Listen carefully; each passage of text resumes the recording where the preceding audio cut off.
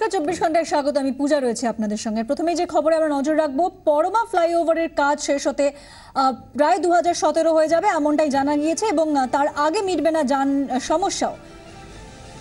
আগামী জানুয়ারিতে দুদিকের ফ্ল্যাঙ্কের কাজ শেষ হলে, প্রথম ধাপে সার্কাস অ্যাভিনিউর দিকে কাজ শেষ হবে এবং কংগ্রেস এক্সিবিশন রোডের কাজও চলবে। শ্রাবন্তী সাহা আমাদের প্রতিনিধি আমাদের সঙ্গে রয়েছেন টেলিফোন লাইনে। শ্রাবন্তী, কি জানা যাচ্ছে এই বিষয়ে? পূজা, যখন পরমা উড়ালপুলটি খুলে দেওয়া হয়েছিল সাধারণের জন্য, সেই সময় এত ট্রাফিক কনজেস্টেড এরিয়া হয়ে গিয়েছিল, যার ফলে এখন এই মুহূর্তে একমুখে যান চলাচলই সম্ভব হচ্ছে। একসময় বিচারপতি দীপঙ্কর দত্তের উদ্যোগে পরমা ফ্লাইওভারটি খুলে দেওয়া হয়েছিল, তাই তিনি গতকাল সরকারি আইনজীবীর কাছে জানতে চান যে কি এমন সমস্যা হচ্ছে যাতে উড়ালপুল একমুখী রয়েছে এবং সেটাতে যেহেতু শহরের সাধারণ যানবাসী যান চলাচলের যে সমস্যা, সেটা দূর করাই যাতে লক্ষ্য ছিল, অথচ সেই লক্ষ্য পূরণ হচ্ছে না। আর সেই উদ্দেশ্যে তিনি সরকারি আইনজীবী এবং traffic police joint CV traffic এবং পাশাপাশি যে ওই এলাকার যে পুলিশ রয়েছে তাদের সবার সঙ্গে বৈঠক করেন। বৈঠকে পুলিশের পক্ষ থেকে পরিষ্কারভাবে জানিয়ে দেওয়া হয়েছে যে, যেহেতু পরমা উড়ালপুলের কাজ সম্পূর্ণ শেষ হয়নি, এর দুটি ফ্ল্যাঙ্ক অর্থাৎ দুটি দিকের বাহু এখনও পর্যন্ত সেখানকার কাজ বাকি। একটি যেমন একটি ফ্ল্যাঙ্ক তকসিয়ার দিকে থাকবে এবং অন্য ফ্ল্যাঙ্ক হচ্ছে এই কংগ্রেস এক্সিবিশন রোড এই দুটি বাহুর কাজ যতদিন না শেষ হয়, ততদিন পর্যন্ত এই একমুখী যান চলাচল করবে পরমা ফ্লাইওভার দিয়ে। বিচারপতি দীপঙ্কর দত্ত তখন তাদের কাছে জানতে যে সার্কাস অ্যাভিনিউ এর দিকে যে ফ্ল্যাঙ্ক রয়েছে, সেই কাজটি কতদিনের মধ্যে করা সম্ভব? পুলিশের পক্ষ থেকে তাকে জানানো হয়েছে যে, আগামী মার্চ মাসের মধ্যে সেই কাজটি সম্ভব হলেও, যেহেতু এই কংগ্রেস এক্সিবিশন রোড যেখানে এই মুহূর্তে প্রায় ছত্রিশটি জায়গার বাস চলাচল করে সেই যদি সার্কাস অ্যাভিনিউ এর কাজ যখন মার্চ মাসে শেষ হবে তখন সেই বাস পথটিকে সেই রুট থেকে সম্পূর্ণ ঘুরিয়ে দেওয়া সম্ভব হবে সার্কাস অ্যাভিনিউর দিকে এবং তখন কিন্তু অন্য দিকের যে কাজটি রয়েছে অর্থাৎ কংগ্রেস এক্সিবিশন রোডের যে কাজ সেটিকে করা শেষ হবে। এই দুটি কাজ আলটিমেটলি শেষ হতে সময় লাগবে। তার পরের বছর অর্থাৎ দু হাজার সতেরোর জানুয়ারি মাস পর্যন্ত। এবং তারপরেই একমাত্র কর্ম উড়ালপুলের দ্বিমুখী যান চলাচল সম্ভব হবে। ধন্যবাদ, শ্রাবন্তী সাহা আমাদের প্রতিনিধি। আমাদের সঙ্গে ছিলেন এতক্ষণ টেলিফোন লাইনে। আর এবার চোখ রাখব চা বাগানের দিকে, কারণ বাগরাগড়, নাগেশ্বরী, বীরপাড়া, রেড ব্যাংক ডুয়ার্সের বিভিন্ন চা বাগানে মৃত্যু মিছিল চলছেই। আজও মৃত্যু হলো দুজনের বাগরাকোটে মারা গেছেন বন্ধাইন ওরাও নামে এক শ্রমিক। অনেকদিন ধরেই অসুস্থ ছিলেন তিনি। পরিবারের দাবি, অনাহারের কারণে অপুষ্টিতে ভুগছিলেন। আজ সকালে বানারহাটে সরকার অধিগৃহীত রেড ব্যাংক চা বাগানেও এক মহিলা শ্রমিকের মৃত্যু হয়। আজ সকালে নিজের কোয়ার্টারে মৃত্যু হয় চিন্তামণি ওরাও নামে এক শ্রমিকের। হৃদরোগে আক্রান্ত হওয়ায় ওই মৃত্যু বলেই দাবি করেছে প্রশাসন। চিন্তামণির পরিবার অবশ্য বলছে, টাকার অভাবে চিকিৎসা করাতে পারেননি তারা। এই নিয়ে গত তিন মাসে শুধুমাত্র রেড ব্যাংক চা বাগানে দশজন শ্রমিকের মৃত্যু হলো। অরূপ বসাক আমাদের প্রতিনিধি আমাদের সঙ্গে রয়েছেন টেলিফোন লাইনে। অরূপ, এখনও পর্যন্ত কি জানা যাচ্ছে যে একদিকে যেরকম অনেক দিন ধরে চা বাগান বন্ধ এবং তার আহ, মাইনে পাচ্ছেন না শ্রমিকরা এবং সেই কারণে অপুষ্টি থেকেই এদের মৃত্যু হচ্ছে। কি বলছে? প্রশাসনের তরফ থেকে কি জানানো হচ্ছে? দেখো প্রশাসন যতবার শ্রমিক কিন্তু মারা গেছে এখনও পর্যন্ত ডাঙ্কান গ্রুপে শুধুমাত্র শুধুমাত্র ডাঙ্কান মারা গেছে কিন্তু একশো চারজন গত তিন মাসে। সেই ক্ষেত্রে শ্রমিকদের দাবি হচ্ছে না খেয়ে এবং বিনা চিকিৎসা তাদের মৃত্যু হয়েছে। প্রশাসন কিন্তু সম্পূর্ণ অভিযোগ কিন্তু উড়িয়ে দিয়েছেন। তাদের দাবি সব কেউ অনাহার বা অপুষ্টিতে মারা যায়নি। সবারই স্বাভাবিক মৃত্যু হয়েছে। তবে এই কথা কিন্তু মানতে নারাজ শ্রমিকরা। শ্রমিকদের দাবি, আমরা কীভাবে জীবনযাপন প্রশাসনের সপ্তাহ একবার হলে দেখে যাক। কারণ বাড়িতে চাল নেই আজকে আজকে দুজন শ্রমিকের মৃত্যু হয়েছিল। এক রেড ব্যাংক চা বাগানের মৃত্যু হয়েছিল। মৃত্যু হয়েছে এক মহিলা শ্রমিকের পাশাপাশি বাগড়াকোট চা বাগানে এক মহিলা শ্রমিকের মৃত্যু হলো। অর্থাৎ এখনও পর্যন্ত ডুয়ার্স এবং তরাই মিলে চা শ্রমিকের মৃত্যুর সংখ্যা কিন্তু একশো পনেরো। পূজা। অরূপ, ধন্যবাদ। অরূপ বসাক আমাদের প্রতিনিধি, আমাদের সঙ্গে ছিলেন এতক্ষণ টেলিফোন লাইনে। চা বাগানে মৃত্যু মিছিলের কারণ নিয়ে রাজনৈতিক চাপানোতর চলছে। অনাহারে মৃত্যু মানতে নারাজ তৃণমূল। সিপিএম এর অবশ্য দাবি চা বাগানে মৃত্যু হচ্ছে অনাহারে মানবিকভাবে কিন্তু চা বাগানে রেশন চা বাগানে পানীয় জল চা বাগানে ফলাই অন্নপূর্ণা অন্তর্দয় যোজনার দু টাকা কেজি চাল এবং গম রাজ্য সরকার দিচ্ছে। সুতরাং স্টারভেশন ডেথের কোনো চান্স এখানে নেই। দেওয়া যাচ্ছে এতশো কোটি টাকা ক্লাবকে দেওয়া যাচ্ছে মেলা করা যাচ্ছে এত ধরনের খেলা করা যাচ্ছে আর চা বাগান শ্রমিকদের জন্য টাকা থাকছে না সরকার পাশে দাঁড়াচ্ছে না এবং নতুন কথা এখন বলা হচ্ছে। যে মৃত্যু হলে পরে বলছে এটা অনাহারে মৃত্যু নয় এটা অন্য ভয় কেউ বলছে হার্ট অ্যাটাকে মারা গেছে। আরে সবকিছুই ম্যাল নিউট্রিশনের জন্য অনাহারের জন্য কি না খেয়ে দীর্ঘদিন না খেয়ে থাকলে পরে হার্ট অ্যাটাক হতে পারে। এটা যা সব চিকিৎসা শাস্ত্র যা স্বাভাবিক নিয়ম। আমরা এই মুহূর্তে সরাসরি চলে যাব রাজ্যসভায়। तो आज़ाद साहब चर्चा आरंभ कीजिए मैं उसका उत्तर दूँगा। अपराध किया है तो अदालत ready for discussion leader of the house sir is ready can ready for discussion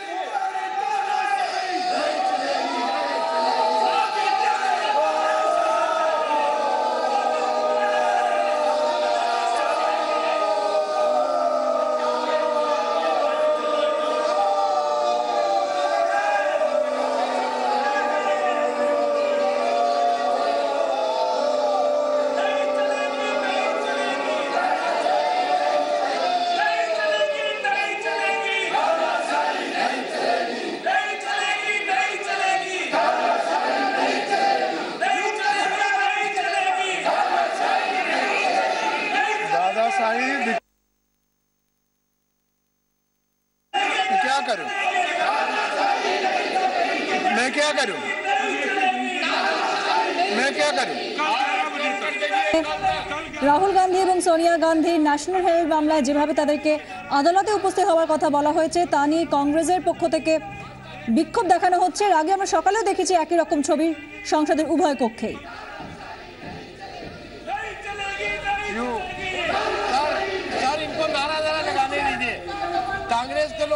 नारा लगाने दीजिए, इनकी थोड़ा सा आप नारा लगाने की जो आदत है और जो थोड़ा एक्सरसाइज है, वो होती रहे। अभी इनको कम से कम दस पंद्रह साल करना है। तो इसलिए इनको नारा लगाने दीजिए, थोड़ा एक्सरसाइज होने दीजिए, क्योंकि दस पंद्रह साल इनको इसी तरह से नारा लगाना है।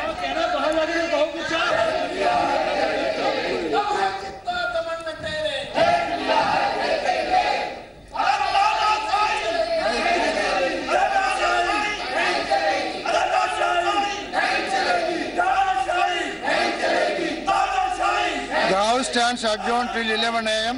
on Wednesday, the 9th December 2015. Rajya Sabha মুলতবি হয়ে গেল বুধবার পর্যন্ত এবং একই রকম ছবি আমরা দেখেছি আজ লোকসভাতেও সেখানেও কিন্তু কংগ্রেস সাংসদরা রীতিমতো তারা বিক্ষোভ দেখিয়েছেন এবং এই মুহূর্তে লোকসভার অধিবেশন মুলতবি হয়ে গিয়েছে শিলিগুড়িতে এক শিশুর মৃত্যু হচ্ছে ডেঙ্গুতে এমনই জানা যাচ্ছে উত্তরবঙ্গ মেডিকেলে ভর্তি ছিল সেই শিশুটি এবং আজ তার মৃত্যু হয়েছে চোদ্দ নম্বর ওয়ার্ডের এই শিশু যার ডেঙ্গিতে মৃত্যু হয়েছে, এমনই জানা যাচ্ছে। শিলিগুড়িতে শিশু মৃত্যু, ডেঙ্গিতে মৃত্যু হয়েছে ওই শিশুর। শিলিগুড়ি চোদ্দ নম্বর ওয়ার্ডে তার বাড়ি এবং উত্তরবঙ্গ মেডিকেল কলেজে ভর্তি ছিল সে। আজ মৃত্যু হয় তার।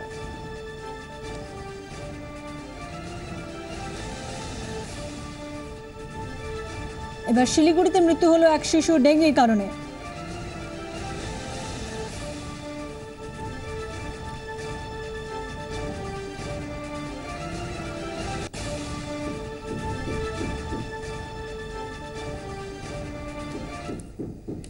এই মুহূর্তে আমরা সরাসরি চলে যাবো দিল্লিতে সেখানে সাংবাদিকদের মুখোমুখি হয়েছেন রবিশঙ্কর প্রসাদ जो ओन अप किया था Young India Limited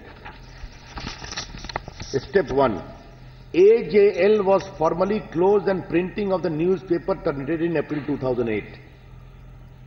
Step two, in December 2010, Board of Directors of Young India formally passed a resolution offering to own up the outstanding debt of AJL of rupees 90 crores. young India में किसका share है? 75 percent Sonia ji Rahul Gandhi का।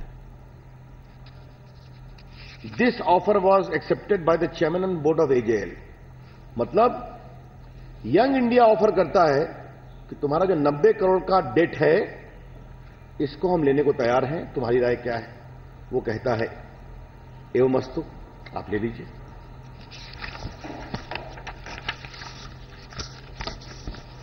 अब देखिए accused number one two four step three as senior office bearer of Congress party use their position to provide an unsecured zero interest loan of rupees 90 crore.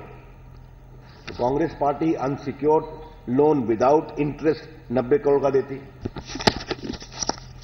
step four AJL thereafter held a meeting of their board and without reference to the shareholders resolved that in the lieu of Young India owning the debt and for a further consideration of rupees 50 lakhs, the entire share equity of AJL will be transferred to Young Indians. Thus, AJL became a wholly owned company of Young India. India में सोनिया जी राहुल गांधी का छिहत्तर percent बाकी लोग और हैं associate journal limited अपना एक अलग अखबार चलता है नब्बे करोड़ का डेट है यंग इंडिया ने कहा, हम तुम्हारा डेट लेने को तैयार है, साइन कर दो हमको। वो पास कर देते हैं। उसके बाद कांग्रेस पार्टी लोन देती है अनसिक्योर्ड विदाउट इंटरेस्ट नब्बे करोड़ का। इस प्रकार से यंग इंडिया नब्बे करोड़ का लोन देती है, पचास लाख रुपया दे देती है, और पूरा associate general limited Young India की सब्सिडरी कंपनी हो जाती है। अब एक सवाल उठता है कि जब एसोसिएट जनरल ने अपना अखबार बंद कर दिया 2008 में तो 2010 में इतनी गतिविधि क्यों हो रही है? क्योंकि 2000 करोड़ की संपत्ति है उनके पास। और उसके बाद सबसे रोचक बात होती है step number five. Accused number one as the president of the Congress party along with accused two three and four thereafter held a meeting of Congress party and decide to write off the loan from the party as irreco- irreco- irrevocable, by falsely holding the net worth of the company is negative. ये allegation तो इसको बहुत सरल भाषा में रखूँ associate journal 2008 में बंद हो जाता उसके कंपनी के लोग वीआरएस ले लेते हैं अखबार निकलना बंद हो जाता है एक यंग इंडिया लिमिटेड कंपनी बनती है जिसका वर्थ एक लाख रुपए का है। उसके बाद उसमें 76 75 परसेंट शेयर सोनिया जी का है, राहुल जी का है। वो कंपनी कहती है, तुम्हारा जो डेट है, वो हम ले लेंगे। तो वो 90 करोड़ का डेट दे देते हैं।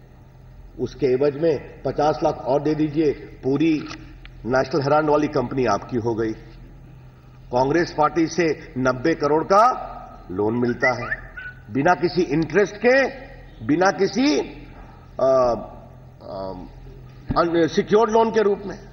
और बाद में कांग्रेस पार्टी कहती है, चूँकि उस कंपनी का निगेटिव वर्थ है, अतः इस लोन को हम राइट ऑफ़ कर देते हैं। अब एक सवाल तो मैं पूछ सकता हूँ एलिगेशन है कि जिस कंपनी के पास 2000 करोड़ की संपत्ति है, उसका नेटवर्थ कैसे होगा? ये एक अलग का विषय ट्रायल में देखा जाएगा। अब देखिए ट्रायल कोर्ट ने क्या कहा? पहले मैं ट्रायल कोर्ट को कोर्ट करना चाहता हूँ। ट्रायल कोर्ट ने जब समन किया मजिस्ट्रेट कोर्ट ने तो बाकायदा रीजन ऑर्डर दिया। और आज न कपिल सिब्बल इसको बोल रहे हैं, न अभिषेक मनु सिंह भी इसको बोल रहे हैं, न कांग्रेस पार्टी बोल रही है। क्या कहा मजिस्ट्रेट कोर्ट ने? From the complaint and the evidence let so far it appears that young India was in fact created as a sham or a cloak to convert public money to personal use or as a special purpose vehicle for acquiring control over rupees 2000 crore worth of asset of the AJL and since all the accused persons have allegedly acted in consortium with each other to achieve the said nefarious purpose design there are sufficient grounds for proceeding against all of them. ये magistrate court का आदेश है। लंबा आदेश है, मैं बाकी नहीं पढ़ूं इसको मैंने चैलेंज किया हाईकोर्ट में। हाईकोर्ट में न दिल्ली सरकार पार्टी है, न भारत सरकार पार्टी है, न सीबीआई पार्टी न Delhi police party it is the petitioners are who Rahul Gandhi and Sonia ji and Motilal Vora and others और सुब्रमण्यम स्वामी पार्टी उसमें हम लोग कहीं नहीं सर आप लोग पार्लियामेंट में डिस्ट्रप्शन हो रहा है लगातार बीजेपी कह रही है कि हंगामा कर रही है किसी काम को नहीं দিলওয়ালে মুক্তির আগে চব্বিশ ঘন্টার মাধ্যমে কলকাতার দর্শকদের কাছে আবেদন রাখলেন শাহরুখ খান বাংলায় বললেন ছবি দেখতে আসুন Tommy Kolkata, we rule. Please watch the film. I can say this to you. I never say this on any other channel because you're my city. So do watch Dilwale. You'll have fun. अपनी Bengali girl है उसके अंदर मैं तो हुई आधा बांग्ला तो मैं हुई but watch it you'll enjoy it uh, watch Dilwale on 18 December you'll have fun like I keep on trying to make sure that I entertain the city of Kolkata and Bengal this one is a step in that direction love you all ফের দিল্লি সফরে মমতা বন্দ্যোপাধ্যায় কেন আচমকা মুখ্যমন্ত্রীর এই দিল্লি সফর তা নিয়ে জল্পনা শুরু হয়েছে প্রশ্ন উঠছে শুধুই কি অরুণ জেটলির মেয়ের বিয়েতে যোগ দিতে দিল্লি গিয়েছেন মমতা নাকি পিছনে রয়েছে কোনো রাজনৈতিক কারণ। জল্পনার মধ্যে আজ বিকেলে প্রধানমন্ত্রী নরেন্দ্র মোদীর সঙ্গে বৈঠকে বসতে চলেছেন মুখ্যমন্ত্রী। বৈঠকে রাজ্যের আর্থিক দাবি দেওয়ার বিষয়টি তুলবেন তিনি। একই সঙ্গে আজ সংসদ ভবনেও তা যাওয়ার কথা ছিল। সম্প্রতি রাজ্যে বাম কংগ্রেস জোট নিয়ে কথা শুরু হয়েছে। কংগ্রেস নেতৃত্বের সঙ্গে সে বিষয়ে আলোচনা করতে পারেন মমতা। দশ তারিখ শরদ পাওয়ারের জন্মদিনের অনুষ্ঠানেও যোগ দেবেন তিনি।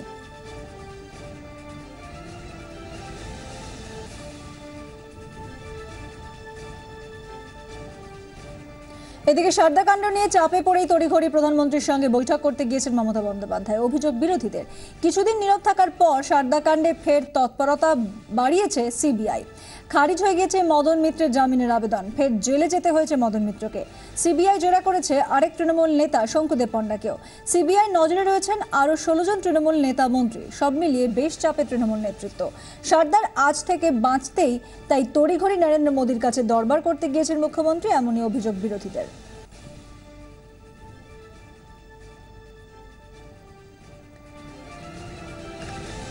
এ বিষয়ে অধীর রঞ্জন চৌধুরী প্রদেশ নেতা, তার কি বক্তব্য? আমরা শুনে নেব। সারদা কাণ্ডে এবং চিটফান্ড কাণ্ডে সিবিআই পশ্চিমবঙ্গের বিভিন্ন সরকারি দলের নেতা মন্ত্রীদের ধরছে, তখন মুখ্যমন্ত্রীর প্রধানমন্ত্রীর সঙ্গে ঘনিষ্ঠতা বাড়ছে। অর্থাৎ সিবিআই এর চাপের সঙ্গে সমানুপাতে যাকে বলে, সিপি সিবিআই যেমন চাপ, সেই সমানুপাতে মুখ্যমন্ত্রীর দিল্লি ধর্না এটাকে প্রপোর্শনালি দেখতে পারেন, সমানুপাতে দেখতে পারেন। তাই আপাত দৃষ্টিতে পশ্চিমবঙ্গের মুখ্যমন্ত্রী দাবি দেওয়ার কথা বলবে, এটা হয়তো তার তরফ থেকে বক্তব্য রাখা হবে। কিন্তু আমার নিজে ধারণা যে তাছাড়াও আরও কিছু হিডেন এজেন্ডা লুক্কায়িত তার এজেন্ডা আছে। তার মধ্যে একটা হলো সিবিআই হাত থেকে পশ্চিমবঙ্গের তৃণমূলকে রক্ষা করা। তার জন্য একটা সমঝোতা। দু নম্বর আগামী নির্বাচনে যাতে বিহারের মতন কেন্দ্রীয় বাহিনী মোতায়েন না হয় তার জন্য একটা দাবি করা। তার পরিবর্তে হয়তো একটা বোঝাপড়া যেটাকে আমরা বলি ট্যাসিট আন্ডারস্ট্যান্ডিং নিশ্চয় বোঝাপড়া মোদি মমতার হবে। মোদি মমতার মসজিদে আজ দিল্লির বাতাবরণে মোমোর গন্ধ আমরা কিন্তু পাচ্ছি। সারদাকাণ্ডে সিবিআইকে আটকে বিধানসভা ভোটের বৈতরণী পার করে দিন মোদী। এই আর্জি নিয়ে আজ প্রধানমন্ত্রীর সঙ্গে দেখা করছেন মমতা বন্দ্যোপাধ্যায়। এমনই অভিযোগ সিপিআই নেতা মোহাম্মদ সেলিমের। এই নোটিশ দেওয়া হয়েছে। আবার যে চার পাঁচজন এমপি, তৃণমূলের রাজ্যসভার একজন এমপি, জেলে তো তিনজন এমপিকে তো খুঁজে পাওয়া যাচ্ছে না। অ্যাবস্কন্ডিং প্রায়। রাজ্যের হয়তো কি দরকার করবেন মুখ্যমন্ত্রী, এমপিদের কথা। প্রধানমন্ত্রীর কাছে আবার ছুটে এসছেন দরবারে শুধুমাত্র হাজিরা দিতে এবং এটা বলতে যাতে বিধানসভা নির্বাচন পর্যন্ত আমাকে পার করে দাও সিবিআই কে একটু আটকাও। লোকপাল এবং লোকায়ুক্তের রিপোর্ট নিয়ে স্ট্যান্ডিং কমিটির বৈঠকে সিবিআইয়ের ক্ষমতা নিয়ে প্রশ্ন তুলল তৃণমূল। তা ধূপগুড়ির এক আলু ব্যবসায়ী। এই ঘটনায় তিনজনকে গ্রেফতার করেছে পুলিশ। আলুর বীজ কিনতে গত মাসের উনত্রিশ তারিখ পাঞ্জাবে যান জলপাইগুড়ির ধূপগুড়ির বাসিন্দা দুলাল ঘোষ। শনিবার থেকে তার সঙ্গে আর কোনো যোগাযোগ করতে পারছিলেন না তার স্ত্রী রীতা ঘোষ। সোমবার রাতে তার কাছে একটি ভিডিও ক্লিপ আসে। অজ্ঞাত ঠিকানা থেকে। দেখা যায়, তিন চারজন মিলে দুলাল ঘোষকে মারছে। ছেড়ে দেওয়ার জন্য চার লক্ষ টাকা দাবি করা হয়। ভিডিও ক্লিপ নিয়ে ধূপগুড়ি থানায় অভিযোগ জানান রীতা দেবী। এরপরই পাঞ্জাব পুলিশের সঙ্গে যোগাযোগ করে স্ত্রী রীতা দেবীকে সঙ্গে নিয়ে সেখানে যায় ধূপগুড়ি থানার একটি দল। চিটফান্ড মামলায় সিজিও কমপ্লেক্সে এই মুহূর্তে আমানতকারীরা তারা বিক্ষোভ দেখাচ্ছেন। আমরা বিস্তারিত জানব। আমাদের সঙ্গে টেলিফোন লাইনে রয়েছেন আমাদের প্রতিনিধি বিক্রম দাস।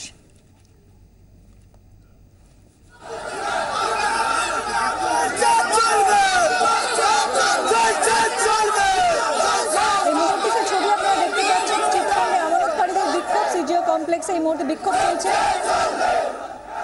বিক্রম দাস রয়েছেন আমাদের সঙ্গে টেলিফোন লাইনে। বিক্রম কি বক্তব্য আমানতকারীদের?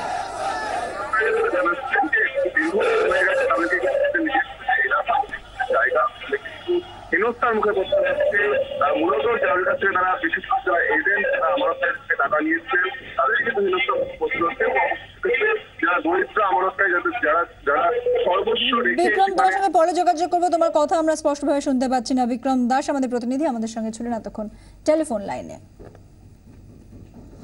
Airport New Garia metro route পরিবর্তনের প্রস্তাব দিয়েছেন রাজ্যের মন্ত্রী। কিন্তু রুট পরিবর্তনের প্রয়োজনীয় টাকা কে দেবে তা নিয়ে তৈরি হচ্ছে নতুন জটিলতা। মেট্রো সূত্রের খবর, রাজ্য সরকারকেই অতিরিক্ত টাকা দিতে বলা হবে। কেননা, মাঝপথে রুট পরিবর্তনের প্রস্তাব দিয়েছে রাজ্যই। রাজ্যের পক্ষে অবশ্য এই ব্যয়ভার বহন করা কঠিন। প্রজেক্টের মাঝপথেই রুট পরিবর্তন। এ রাজ্যে মেট্রোর ইতিহাসে ইস্ট ওয়েস্টের পর ফের একই কাণ্ড ঘটল এয়ারপোর্ট নিউ গড়িয়া প্রজেক্টের ক্ষেত্রেও। গত শুক্রবার রাজ্যের পুর এবং নগর উন্নয়ন মন্ত্রী মহিষ পাথান ব্রিজের কাছে মেট্রো রুট পরিবর্তনের প্রস্তাব দিয়েছেন। কারণ মাঝ রাস্তায় পড়েছে বাড়ি। কোনোভাবেই সেই বাড়ি সরাতে পারবে না রাজ্য সরকার। অথচ বাড়ির মুখে গিয়েই আটকে পড়েছে কাজ। পিলার তৈরির কাজও শেষ। এখন রুট পরিবর্তন করলে নতুনভাবে নকশা করতে হবে। তারপর রয়েছে জমি অধিগ্রহণ, পিলার তৈরির কাজ। এই কাজে খরচ হবে বিস্তর। মেট্রো সূত্রে খবর, বাড়তি খরচের অঙ্ক দাঁড়াবে কয়েকশো কোটি। কিন্তু এই অতিরিক্ত টাকা দেবে কে? মেট্রো সূত্রে খবর, রাজ্য সরকারকে এই টাকা দেওয়ার কথা বলা হবে। কারণ তাদের জন্যই মাঝপথে ঘোরাতে হচ্ছে পথ। ইস্ট ওয়েস্ট মেট্রোর ক্ষেত্রেও একই ঘটনা ঘটেছিল। মাঝপথে রুট ঘোরাতে খরচ বাড়ে সাতশো চৌষট্টি কোটি টাকা। শেষ পর্যন্ত রেলমন্ত্রী আর্থিক দায়িত্ব নেওয়ার আশ্বাস দেওয়ায় শুরু হয় কাজ। কিন্তু এয়ারপোর্ট নিউ গড়িয়ার ক্ষেত্রে কি হবে? মেট্রো সূত্র বলছে এবার কিছুতেই এই বাড়তি টাকার দায়িত্ব তারা নেবে না। দায়িত্ব নিতে হবে রাজ্যকেই। কিন্তু রাজ্যের আর্থিক ব্যবস্থা নিয়ে যারা ওয়াকিবহাল, তারা বলছেন এমনটা হওয়া মুশকিল। অতএব, তৈরি হতে চলেছে কি আবার জটিলতা? শ্রেয়সী গঙ্গোপাধ্যায়ের রিপোর্ট, চব্বিশ ঘণ্টা। জলপথে ওত পেতে আতঙ্ক। কিন্তু এ রাজ্যের বঙ্গোপসাগর উপকূলে এখনও নিরাপত্তা ঢিলেঢালা সমস্ত বোটে এখনও বসেনি ট্রান্সপন্ডার। নজরদারির ফাঁক গলে যে কোনো সময় ঘটে যেতে পারে বড় সড় বিপদ, উদ্বিগ্ন প্রতিরক্ষা মন্ত্রক। অথচ কেন্দ্রের কাঁধেই দোষ চাপাতে ব্যস্ত রাজ্য। ভয়ঙ্কর সন্ত্রাসবাদী হানা নাড়িয়ে দেয় ভারতের প্রতিরক্ষার ভিত। বোটে চেপে ভারতীয় জলসীমানা পেরিয়েছিল আজমাল কাসাফ। তছনছ হয় বাণিজ্য নগরীর স্বাভাবিক ছন্দ। ঘটনার পর কেটে গেছে সাত সাতটি বছর। বদলেছে সরকার। অথচ ভারতীয় জলপথ এখনও অরক্ষিত। ছাব্বিশ এগারোর পর একটি নজরদারি কমিটি গড়ে দেয় প্রতিরক্ষা মন্ত্রক। ঠিক হয়, সাড়ে সাত হাজার কিলোমিটার সমুদ্র উপকূলে নজরদারি বাড়াতে বোটে বসানো হবে দু লক্ষ ট্রান্সপন্ডার। প্রতিটি ট্রান্সপন্ডার কেনার খরচ ষোলো হাজার আটশো টাকা। পশ্চিমবঙ্গে বঙ্গোপসাগরের উপকূলে কুড়ি হাজার বোটেও ট্রান্সপন্ডার বসানোর কথা। টাকা দেবে কেন্দ্র, বসাবে রাজ্য। কি এই ট্রান্সপন্ডার? চেনা বোট ছাড়া অন্য বোট জলসীমানায় ঢুকলেই সংকেত পাঠাবে এই ট্রান্সপন্ডার। সতর্ক হয়ে যাবে উপকূলরক্ষী বাহিনী। যে টোয়েন্টি সিক্স ইলেভেন হয়েছিল সেটা যেন রিপিট না হয় because we have a vast maritime border to protect that we need transponders in all the fishing boats but however আমাদের দিক থেকে West Bengal Andaman Nicobar Lakshadweep and Orissa the progress is very very slow অথচ বঙ্গোপসাগর উপকূলে এখনও পর্যন্ত মাত্র আড়াই হাজার বোটে বসেছে ট্রান্সপন্ডার কিন্তু এই গাফিলতি কেন? কেন্দ্রের ঘাড়ে দায় চাপাতে ব্যস্ত রাজ্য। আমরা আরও চেয়েছি এবং আমরা টোটাল সংখ্যাটাও জানিয়ে দিয়েছি যে আমাদের এরকম সংখ্যা আছে এত লাগবে।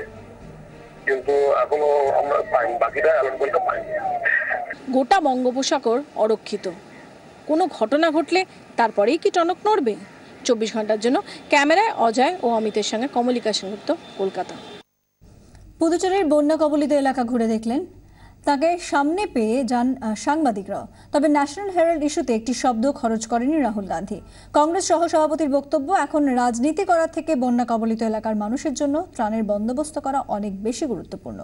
আজ প্রথমে পুদুচেরিতে যান রাহুল। বন্যায় সবচেয়ে ক্ষতিগ্রস্ত এলাকাগুলি ঘুরে দেখেন তিনি, কথা বলেন দুর্গত মানুষদের সঙ্গে।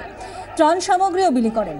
এরপর তামিলনাড়ু যাওয়ার কথা রাহুলের। সেখানে চেন্নাই, কাঞ্চিপুরম, কুদালোরের ক্ষতিগ্রস্ত এলাকা ঘুরে দেখবেন তিনি। I think it's very important that instead that instead of uh, doing politics at this time, uh, we try and make sure that the people of the state of Tamil Nadu and Pondicherry are given the relief that they need. So I think right now the effort should be in trying to get as many people help as possible.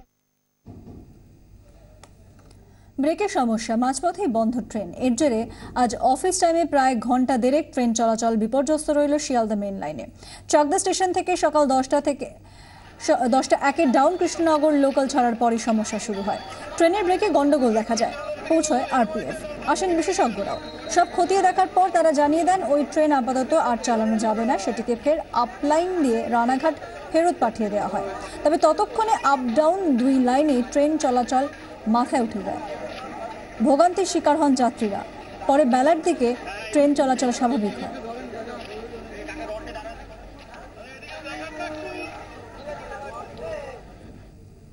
সুন্দরবনের ঝড়খালিতে ধরা পড়ল পূর্ণবয়স্ক বাঘিনী। গত কয়েকদিন ধরে ওই এলাকায় বাঘিনীটি ঘুরছিল।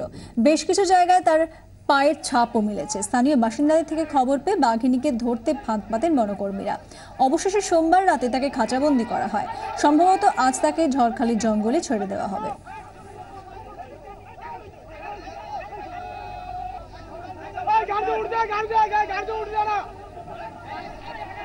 ডিসেম্বর পড়লেও শীতের দেখা নেই। ফলে সাঁতরাগাছির পাখিরালয়ে পাখির সংখ্যা কম। পাশাপাশি ঝিলের জলেও জমেছে নোংরা আবর্জনা স্তূপ। হতাশ পাখি প্রেমীরা নভেম্বরের শুরু থেকেই সাঁতরাগাছির পাখিরালয়ে ভিড় করত পরিযায়ী পাখির দল। কিন্তু এবছর ছবিটা একেবারে আলাদা। ডিসেম্বরের দ্বিতীয় সপ্তাহের শুরুতেও দেখা নেই শীতের অতিথিদের। সরাল হাঁস কুন্তে হাঁস বালি হাঁস পিন্টেল জম্পিপের মতো পাখি এলেও দেখা নেই সাইবেরিয়া থেকে আসা পাখিদের। ফলে হতাশ পাখিপ্রেমীরা। শুধু জলবায়ু পরিবর্তন নয়, অনেকে এর জন্য ময়লা আবর্জনায় ভরা ঝিলের দূষিত জলকেই দায়ী করছেন। তবে হাওড়ার বন দপ্তরের মুখ্য আধিকারিক বিমান বিশ্বাসের দাবি, ঝিল পরিষ্কার করা হয়েছে। যে আমরা যখন পরিষ্কার করি, তখন বেশ কিছু পরিষ্কার করে দিয়েছি, তাও অনেক সময় লোকেরা ছুঁড়ে টুড়ে ফেলে দিচ্ছে। তা আমরা চেষ্টা করছি সেগুলোকে তুলে দেওয়ার জন্য, যতটুকু সম্ভব হচ্ছে করে দিচ্ছি। তার সাথে অ্যাওয়ারনেস মানুষের অ্যাওয়ারনেস বাড়ানোর জন্য চেষ্টা করছি। ঝিলের অস্বাস্থ্যকর পরিবেশের অভিযোগ উড়িয়ে দিয়ে বন দফতরের দাবি, ঠান্ডা পড়লেই ফের সাঁতরাগাছির পাখিরালয় ভিড় করবে পরিযায়ী পাখির দল। কারণ পাখিদের প্রজননের অনুকূল পরিবেশ ঝিলে রয়েছে। ব্যুরো রিপোর্ট, চব্বিশ ঘণ্টা। আপাতত এই পর্যন্তই। সঙ্গে থাকুন চব্বিশ ঘণ্টা।